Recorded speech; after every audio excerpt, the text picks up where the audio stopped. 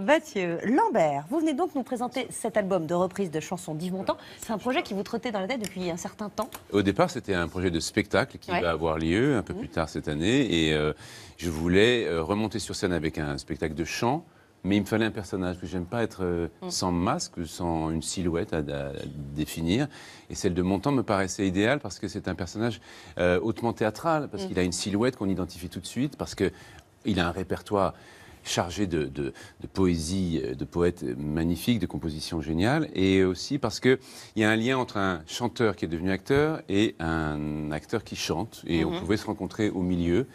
Et puis, on m'a fait cette proposition magnifique de, avant de monter sur scène, de faire cet album, 17 titres, euh, avec un, un big band, un orchestre symphonique, quelque chose de très luxueux, avec euh, mon compère Bruno Fontaine, qui est un, pianiste et un arrangeur extraordinaire, avec qui j'ai fait deux spectacles auparavant, et qui avait aussi fait les musiques de- des films d'Alain Resnais, comme On connaît la chanson ou Pas sur la bouche. Et, on a repris des, euh, des titres très très connus, mais aussi on a une proposition de, titres beaucoup moins connus, même des spécialistes de mon temps. Renaud, votre titre préféré de Montand Euh, p- ouais, euh, pour votre, euh, votre pour mon figurine. Non, j'adore la, la bicyclette, j'adore euh, les, les feuilles, les feuilles d'automne. les- Feuilles mortes. Feuilles mortes. Feuilles mortes. Feuilles En anglais, Autumn Leaves. Non, non. oui. ouais. ah, oui, ah, vous la connaissez Euh, en anglais Non, je connais beaucoup de chansons. J'ai pas les titres comme ça, mais euh, en tout cas, j'aime le timbre de sa voix. Et j'ai eu le disque tout à l'heure, j'ai pas eu le temps d'entendre euh, ta voix là-dedans. Mais euh, je pense que ça doit être magnifique parce que tu as cette, euh, ce côté suave qu'avait qu'avait Montand. Bon, voilà.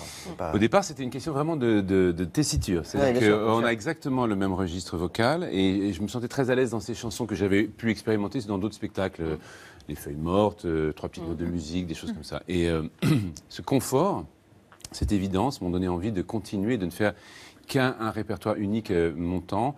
En plus, cette Même année, si c'est... c'est pas un auteur-compositeur, on le disait, Oui, c'est vrai que c'est en général on reprend des auteurs-compositeurs. Vous, c'est l'artiste. en Oui, fait. mais parce que l'artiste se définit par ses choix. Et vraiment, il a, il a fait tout un parcours très intéressant de, de- de- de choix d'auteur et de compositeur. Et en plus, cette année, c'est le 25e anniversaire de sa mort, en novembre. Donc pourquoi pas C'est la ne- bonne année le, le- célébrer, oui. On va écouter un extrait de La bicyclette et de Paris. Paris. Quand un amour fleurit, ça fait pendant des semaines de cœurs qui se sourient, tout ça passe qu'ils s'aiment à Paris. Quand on partait de bon matin, quand on partait sur les chemins à bicyclette.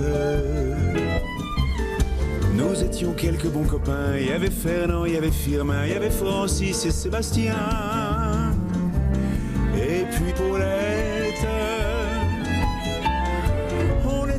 Tous amoureux d'elle, on se sentait pousser les ailes à bicyclette. Bienvenue à notre table, Lambert et Renaud. Ce soir, pendant le dîner, nous allons écouter cet album. On découvrira certaines chansons et on entendra celles qu'on connaît bien. Et Babette, bah, pas- Babette, elle nous a préparé un plat. Et on est c'est une blanquette de veau aujourd'hui. et de coco. Bonjour. Bonsoir, bonsoir. On est en famille nombreuse aujourd'hui. Mais oui, c'est ça. Alors, qu'est-ce que vous nous avez préparé? Une petite blanquette de veau Oh, c'est magnifique. avec une différence qu'il y a de lait de coco dedans, à la Voilà. de la Un petit goût de coco dans la blanquette. hein. Voilà, c'est ça original, un petit ça. côté exotique qui n'est pas mal du tout. C'est la touche. Et je euh, reviens. La touche Babette. Voilà, exactement. Et je vous laisse euh, On va tous apporter la. en- au même moment, non c'est- oui, Dans les bah oui, il faut faire ça. On fait ça? Ah bah non, bah non. on a- Elisabeth, Babette c'est n'a pas. Elisabeth. Anne-Elisabeth Je vous et regarderai, Babette ne sont encore. euh. Voilà, et je pense qu'on va voir euh, Merci. un, un- une- un superbe parfum qui va se. Voilà, on peut l'ouvrir, on peut l'ouvrir. Oh, c'est très très joli. Alors je, je le disais, Lambert, Montand était un artiste complet, enfin vous le disiez plutôt, euh, ce qui est très rare en France, euh, très très rare, c'est plutôt dans les pays anglo-saxons. D'ailleurs, vous, vous êtes plutôt formé euh, en Angleterre? Mais il, lui, était issu du music hall français. Or, le music hall français, c'était la tradition euh, de- du chant sur scène, avec en même temps des plaisanteries. C'était le mélange euh, chanteur, comique, troupier. euh, C'était les entertainers, les gens qui étaient là pour divertir. Et il était issu de ça. Il est arrivé au cinéma plus tard. C'est une tradition plutôt d'une époque pas Oui. simplement ni anglaise ni française, c'est les années 20, les années 30, euh, et il était issu de ça comme beaucoup de gens que j'admire dans le cinéma français. Maintenant, on a perdu cette habitude-là, mais tous les Gabins, les Daniel Darieux, les Fernandel, tous ces gens-là venaient de la revue, venaient du music hall, et je trouve que ça, ça faisait d'eux des gens très souples, euh, qui pouvaient en même temps être à l'aise dans l'humour, en même temps être à l'aise avec euh, justement quelque chose de plus lyrique, de plus romantique. Et, et Montand, c'était vraiment cette tradition-là. Il a commencé sur scène dans, les, dans, dans, dans le music hall. On a une très belle archive, Lambert Wilson, euh, Yves Montand sur scène, évidemment. Euh, J'étais pas là ce soir-là, c'était le 5 juin 1963, mais durant cette série de concerts au théâtre de l'Étoile qui a disparu Eh oui, maintenant, oui. euh, j'y étais allé deux fois avec mes parents. Merci à eux. Et, et Montand donne toute la gamme dans une chanson qui est plus une chanson de scène qu'une chanson de disque, Sœur Godfrey. Ah, Si par hasard il entre dans un bar quelque part dans le Sceau, sans dire un seul mot, il fait son boulot. Un trou dans la peau, un coup, chapeau, à ceux qui manquent de peau, l'ismène pour les défendre. Puis Godfrey va se faire pendre ailleurs et son histoire disparaît dans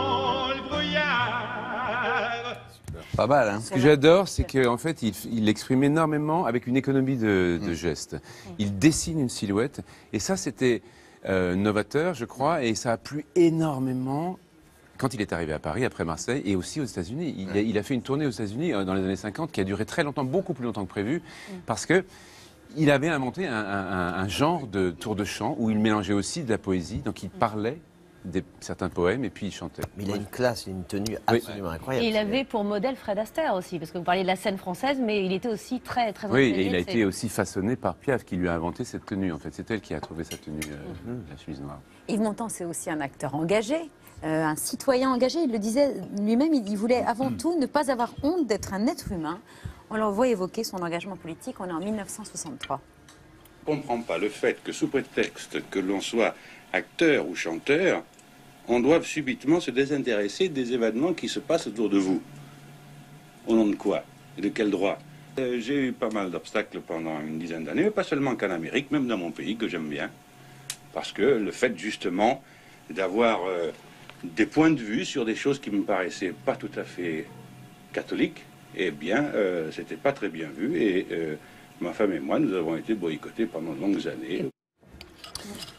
Ce que j'adore, c'est qu'en fait, c'est un homme qui vient du peuple vraiment, qui vient du monde ouvrier euh, et qui est resté très très très proche. Bon, comme on sait, il s'est- vraiment engagé auprès du Parti communiste et après, il est, il est parti en, en, en- en- en Union soviétique à un moment compliqué.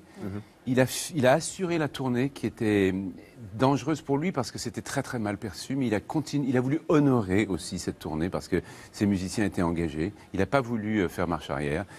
Et après, il a pris ses distances. Mais je trouve que c'est toujours un- le côté ouvrier, c'est présent dans le choix des chansons aussi. Ça qui est toujours. euh, moi, moi, j'adore ça chez lui.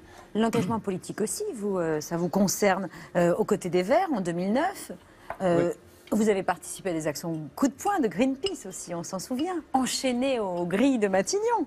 Euh, oui, en fait, ça, je ne suis pas euh, un homme de parti, je suis un homme de conviction et j'aime bien les actes militants. C'est vrai, euh, il y a des ONG que je trouve absolument formidables. Parfois, je renonce à mes ambitions parce que j'ai l'impression que tout ce qu'on fait Ne change rien et que les gens continuent à vouloir détruire la planète en parlant de- d'environnement. c'est un petit peu pessimiste ce que je dis là, mais euh, en tout cas, je ne suis ni un homme de religion, de dogme, ni de parti. En revanche, je trouve que les actions euh, Ouais, actions sont concrètes, importantes. c'est Oui, ça l'engagement. oui. Euh, y compris en 2003, vous avez formé un commando anti-OGM aux côtés de Noël Mamère, Anémone et Philippe Torreton, entre autres. On regarde ces images. À l'aube. 9h30 ce matin, le petit café de Méry-sur-Marne n'a sans doute jamais connu pareille affluence. Christophe Malavoie, Lambert Wilson, Anémone, répondant à l'appel de Greenpeace, Attaque, Droit devant et la Confédération paysanne, une trentaine d'artistes et de personnalités politiques ont choisi une action choc contre les OGM. Il y a ici, paraît-il, des parcelles qui sont justement des parcelles bio. Et Oui, oui, tout à fait, il y a- je confirme. Hein Il y a un agriculteur biologique. Et donc il a et forcément euh, son travail est entièrement euh, euh, détruit. Bah oui. Euh, mais c'était beaucoup plus tôt que 9h30. Je me souviens que j'étais parti à Vous 5 heures disiez à c'est il de la L'entrée souffrance. au gouvernement de trois écologistes, Emmanuel Cos, au logement Jean-Vincent Placé ou encore Barbara Pompili, c'est une bonne nouvelle? Bah, oui, si le discours écologique peut être maintenu dans- au gouvernement le plus possible, et il est évidemment que c'est une bonne nouvelle pour moi. Après, c'est leur chemin personnel, savoir euh, s'ils vont pouvoir s'exprimer, s'ils vont pouvoir faire des choses. Euh, on leur souhaite bonne chance. Je pense que l'écologie euh, doit être vraiment au cœur du débat, euh, personnellement. C'est mon combat. Voilà, je pense que c'est à eux de frapper fort. On attend beaucoup d'eux, en tout cas. Mercredi prochain, vous êtes à l'affiche de La Vache. On le rappelait tout à l'heure avec votre joli cadeau, euh, en parlant d'écologie, avec Fatsa Bouyamed et Jamel. Film que nous aimons beaucoup. On les a reçus. Ils étaient à votre place tous deux euh, il y a deux jours. Ils nous ont raconté qu'à la fin du tournage vous, de- du film de Mohamed Hamidi, vous leur aviez écrit une superbe lettre qui les avait beaucoup touchés. Vous imaginez bien qu'ils n'allaient pas quitter le plateau sans vous dire quelque Je chose. leur ai écrit une lettre à chacun, oui, Ouais. effectivement. Attends, avant de commencer cette, cette interview, j'ai besoin de faire rentrer ma mascotte. Solal Euh, Assieds-toi sur mes genoux, Solal. Ici, c'est Paris. Il est parisien déjà, ça fait plaisir. Et non, mais la classe, ouais, voilà, c'est la gastronomie française des acteurs, si tu préfères. C'est un monument qui se met à ta, à ta hauteur. Un peu trop beau, mais ça c'est juste. Grand pour et moi. beau, grand et beau. Il a cette classe qu'ont les Marocains. C'est cette espèce de flegme marocain, je sais pas si t'as remarqué. Ah, bicyclette, tous les matins on est content, tous les soirs on est content, avec Firmin, avec Jacquemin, et puis Paulette. Et tu dépasses les bateaux, et tu dépasses les avions. et des chaussettes. Lambert, est-ce que tu crois que Jamel et moi, on peut se lancer euh, dans la musique? Bah, surtout qu'il chante dans le Je film. les adore, euh, je les adore, ouais, mais, mais c'est un, c'est un acteur extraordinaire, Fatsa, que euh, j'ai aimé tellement rencontrer et, jouer avec lui. Jouer avec Jamel, c'est un happening permanent. Ouais. Et c'est un autre exercice parce qu'il est en improvisation euh, tout le temps. Euh, Fatsa est, est un homme qui vient du théâtre et il est plus conventionnel dans son approche, mais il est aussi capable d'improvisation. Euh, et voilà, ils sont, ils sont tous les deux tellement. euh, c'est, paraît banal à dire Mm. que les gens sont gentils, mais mais finalement, le plaisir film de- parle de ça aussi. Parce sûr. ré- il réhabilite cette notion de gentillesse. Mm. Qu'à partir du moment où on a un cœur euh, qui palpite et bon, bah, le meilleur, euh, vous l'obtenez de- de- de- des gens que vous allez rencontrer. C'est ça que le film raconte aussi. On Et va ça, faire- je, je- je le trouve chez eux. Et, et Renaud, il faut absolument aller le voir, hein, ce film, absolument. La Vache. C'est mercredi prochain. On va continuer euh, à discuter ensemble juste après la pause publicitaire et on se retrouve pour le dessert. On parlera notamment de l'album anniversaire de Renaud À tout de suite.